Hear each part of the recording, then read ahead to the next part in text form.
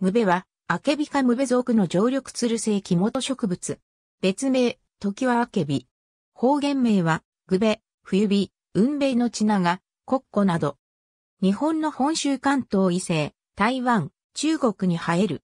柄のある3から7枚の小葉からなる、手のひら状服用。商用の葉身は、厚い角質で、新緑で、艶があり、裏側はやや色が薄い。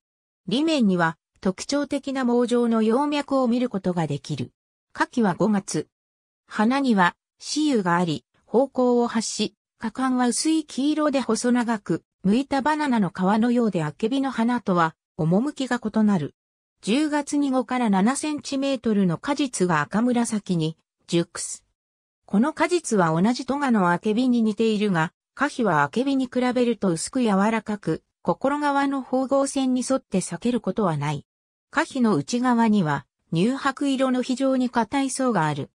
その内側に腹座に由来する半透明の果肉をまとった小さな黒い種子が多数あり、その間には甘い果汁が満たされている。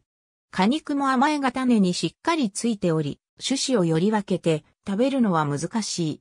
自然状態では日本ザルが好んで食べ、種子散布に寄与しているようである。主に盆栽や日陰棚に仕立てる。新芽と果実は食用となる。日本では伝統的に果樹として重んじられ、宮中に献上する習慣もある。しかし、アケビ等に比較して果実が小さく、果肉も甘いが食べにくいので、商業的価値はほとんどないが、現在でも生産農家はあり、皇室のほか、天智天皇を祀る大見神宮、靖国神社に献上している。茎や根は、野木売りという木薬で、利尿剤となる。http://www.sankei.com スラッシュ s とスラッシュニューススラッシュ1511110スラッシュ wst151110067 だシュ n1.html ありがとうございます。